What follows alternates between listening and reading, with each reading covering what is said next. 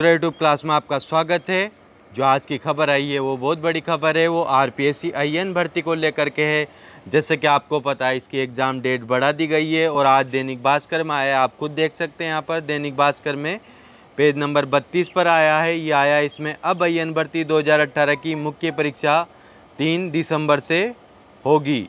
इसमें पूरी खबर जान लेते हैं हम। राजस्थान लोक सेवा आयोग की ओर से आई मुख्य परीक्षा 2018 की तिथि को अब आगे बढ़ा दिया गया है।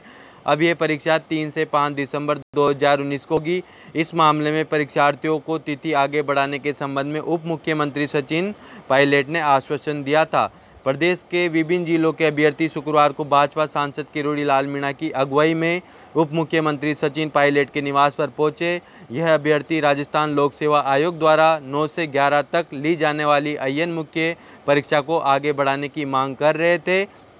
अभ्यर्थियों का तर्क था कि आयोग द्वारा एक अक्टूबर को अयन प्रारंभिक परीक्षा का परिणाम विस्तारित किया गया है जिसमें 1200 से अधिक नए अभ्यर्थी शामिल हुए। इन नए अभ्यर्थियों को मुख्य परीक्षा की तैयारी के लिए एक सक, एक सप्ताह का भी समय नहीं मिल रहा था। मूल परीक्षा परिणाम में शामिल अभ्यर्थी तीन महीने से तैयारी कर रहे ऐसे में विस्तारित परिणाम में आए अभ्यर्थियों के साथ अन्याय होगा। इसे देखते हुए मुख्य परीक्षा को कम से कम तीन महीने और आगे बढ़ाया जाए। तो दोस्तों, ये आपके लिए बहुत बड़ी खबर है और जैसा कि आपको पता है, कल आ चुका था आपका कि आपकी तीन बारह दो हज़ार उन्नीस से पाँच बारह दो हज़ार उन्नीस तक परीक्षा आयोजित की जाएगी। तो इन, इसके लिए आभार है उन विद्यार्थियों का जिन्होंने इस परीक्षा को आगे बढ़वाने के लिए काफ़ी संघर्ष किया। आभार है किरोड़ी लाल मीणा जी का, आभार है सचिन पायलट का।